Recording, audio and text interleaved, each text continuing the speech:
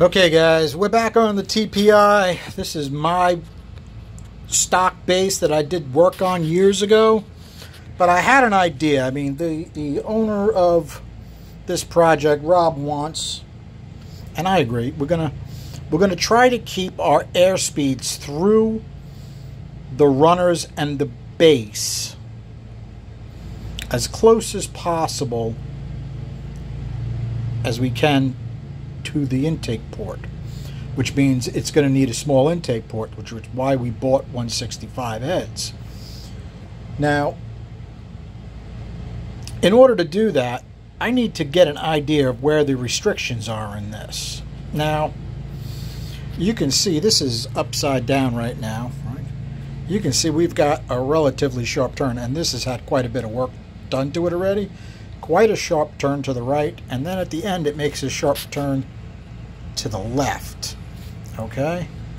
what happens anytime we turn air? Where does the speed go? Usually like a short side, right? The inside edge is where the air wants to go because it's the shortest distance. So in reality, it's going to do something like this. Okay? It's going to come tight to this side and on the end it's going to come tight to that side and we'll see that on the air speeds so what I did is I took this port and I sectioned it up. So hopefully we can understand what's going on. Okay we're going to show you this as well. Okay it's going to do something something like that. Our air wants to go tight around this corner. Now it doesn't look like it's got a, a serious turn here. It looks relatively straight but there is a there definitely is a turn here. Okay, and this turn here is obvious, right? What's interesting is the airspeed's going through this from the roof to the sides to the floor. Now you have to remember I tested it with clay on the inlet. That way I can get the pitot in and out. Okay, my pitots are quite long, so I can get all the way into the intake port. Now, I didn't measure all the way into the intake port. I finished up right about the interface where it goes from the manifold to the cylinder head. Because the cylinder head's easy for me to measure. That's not a problem. What the uh, restrictions seem to be is in this manifold. Now, we, I put the head back on the bench. I tested most I could get out of it uh, today was 277 CFM. So I bolted this on with some clay, I got 260 through the base. Okay, I'm sure I could have done a better job organizing this. You know, someone will crab I wrote the A, B, C, D the wrong way, and then I mixed these up. So it's A, B, D, and C. It was a tough week, guys. Okay, one, two, three, four. That's this one, two, three, four. So what I did is I took this port, and we divided it this way, right? We're going to take a position and we're going to do one, two, three, four. And these are what we get. 273, 347, right in the middle here. It changes from round to square. Well, it's not completely round, but it's a large radius square, more or less. So what I wound up doing, well, let's just finish going through the speeds first and I'll show you. Okay, so at 1 we did 273, at 2 we got 347, at 3 we got 298, and at the interface we got 351. So what I did is I went down 1, 2, 3, 4, and I measured the cross section. Now, because every part of this is a different shape, I had to do the radius. The radius is a little different. These should be pretty close, okay? So I take your square inches, multiply by 146.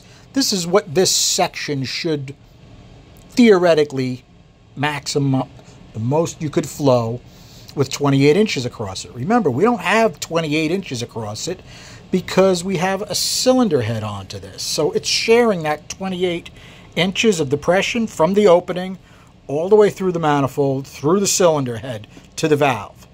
Okay? So this isn't going to be completely correct, but it gives us an idea. Okay, so one, it's relatively big. We should be able to get 356 through there. We're nowhere close, right? Now, at 2, it's it's almost a, almost a square at that point, 1.29, 1.57 with a relatively tight corner radius. Okay, that's only 287.5 theoretical CFM. We come down here. Now remember, I've, I've done a lot of work to these. Okay, I already gave these a lot more area this way. Okay, to make them work better. All right, this one too. This has been this has been changed this way. Okay, something like that because we want to take it and straighten that out the best we can, okay, to add less resistance. Now, the problem with this project is we're trying to keep the air speeds, right? What would be perfect is if we could get everything 300 CFM at 500 lift through the entire intake track. That would be great. It's not going to be possible, but we'd like to get as close to that as we can, and I think it'll deliver great torque for how many cubes it is. Okay, where was I, guys? Sorry. So after this, we go into 3, okay? 3, relatively square. That'll flow approximately 311.8 CFM. And our opening, I want to show you guys the opening because there's only one way to really do the opening right. Okay, the opening looks like it's a 1204, but in reality it's not. You have to go this way and this way, okay? Because this manifold is a very low manifold. It intersects the head at a very low angle. Let me see if I can demonstrate that for you.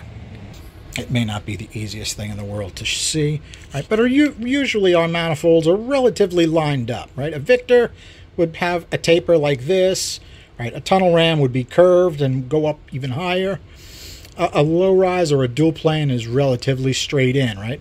Well, we should say they come in at an angle on the upper H and they come in a little bit more like this on the lower H. Now, this manifold is set up more like this. It's way low. Okay, so it intersects at, at, at a very steep angle to the port. So everything will be aimed up at the roof. Okay, now we might be able to get away with doing something with this floor if there's no air there. It'll be it'll be a challenge for me to, to measure that though, but I think we could probably do a clay experiment and see what happens. So, what did we learn? It's a mess. Right? Everywhere we go. Up, down, up, down, up, down, up, down. Notice all of the twos are high, right? The ones vary from 185 to 300 ones, depending upon where we look, right? The threes, 217 to 353 for 351 to 281. The more difference we have through these runners, the worse they're going to work. So what do we need to do? And part of the question was to get our airspeeds as close as we can, it would make sense that our area would be the same. But you can't do that around turns. In order to get the better flow, we're going to have to give it more area in the turns. Now I'm doing this on my TPI intake, which is going to be different than the one he's going to send me. He's sending me a good aftermarket base. But I'd like to get my R&D done on mine. I'd rather ruin mine than his. And uh, I definitely need some feedback on this because this is uh, a little out of my wheelhouse. I've never done I've never done anything quite like this before. But kind of like DV's uh, demonstration of how to get air to turn. Right, his his demonstration looked something like this. I've drawn it before. Okay, these may not be exactly how he has it in his book, but these are both the same length and they're supposed to be the same turn. I just did a quick drawing, okay? When you have a turn like this, we're going to lose about 75% of the flow over a straight pipe. This one, when you expand it, okay, you get the air to slow down. You don't lose as much airflow. Now, since it is a TPI, and a lot of this is based on harmonic pulses through a 22 inch intake runner, I still have to sit down and figure out which harmonic it is. I think these are low. I think they're only like uh, second harmonic, whereas like a Victor, I think, is tuned on the fourth harmonic. I haven't really done a lot of work with that type of stuff, so I may be off on that, guys. But that's definitely something we can talk about in the discussion, okay? What do you guys think about me taking this and adding some area and basically doing the same experiment and see if we can get see if we can get these closer, right?